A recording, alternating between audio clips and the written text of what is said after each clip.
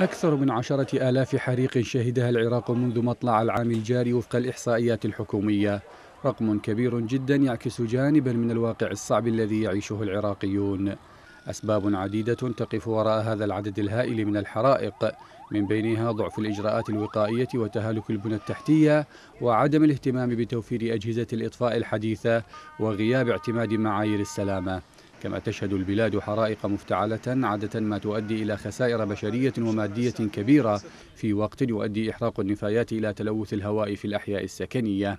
وتقول مديرية الدفاع المدني إن الاستهتار بالقانون ولجوء بعض الأشخاص إلى افتعال الحرائق في المحال التجارية أو المنازل بسبب الخلافات الشخصية أو النزاعات العشائرية هو أكثر ما يؤدي إلى حالات وفاة وإصابات بليغة.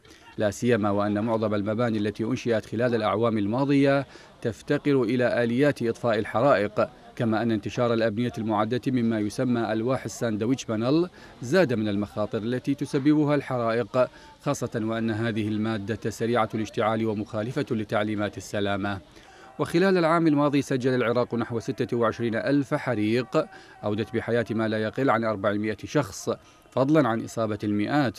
وطالت هذه الحرائق مستشفيات ومدارس ومطاعم ومخازن تجارية ومجمعات سكنية فضلا عن مئات الهكتارات الزراعية وخصوصا حقول القمح.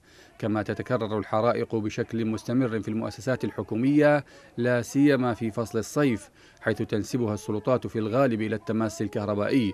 بينما يؤكد مراقبون أن العديد من هذه الحرائق تفتعل بهدف إخفاء أدلة تدين فاسدين أو نتيجة التنافس الدائر بين الأحزاب والميليشيات التي تتصارع فيما بينها وتذهب أجهزة ومؤسسات الدولة وقودا لهذا الصراع الذي يدفع العراقيون ثمنه باهظا من أرواحهم وأموالهم.